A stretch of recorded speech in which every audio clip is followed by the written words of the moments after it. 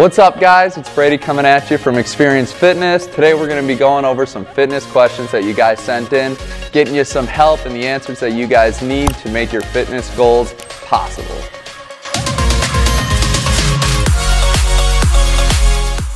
Best exercises to lift your booty. This is going to be any exercise that is using hip extension or internal or external rotation of your legs, which just means turning them in and turning them out, is, which is what your glutes are responsible for. Now the number one thing that you need to recognize when building your booty is you need to be able to connect to your glutes and actually activate them.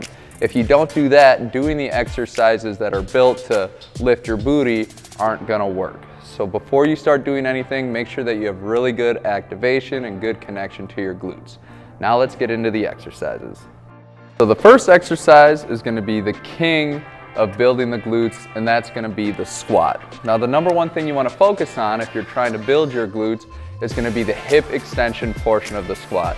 So when you watch me come through at the top of my squat, notice how my glutes come all the way through extension and tense before I go back down to another rep. So the next exercise is gonna be called a barbell glute bridge.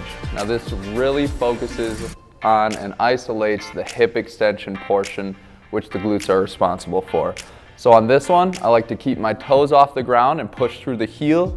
That just primes my posterior chain or the back muscles of your leg, which are your hamstrings and your glutes, a little bit more to get more activation out of it during the exercise.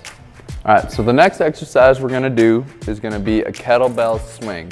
Now again, we're focusing on hip extension and creating the momentum through the kettlebell with our glutes by driving them through and then stopping. So we're not hyperextending our low back to finish the movement. We stop at full hip extension. So this is the kettlebell swing. Start out, create a little momentum, come back, drive the glutes through. Tuck the chin, all the momentum coming from the glute.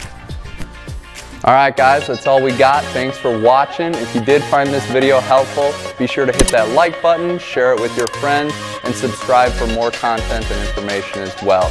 If you have any other questions or want some things answered, feel free to leave a comment down below.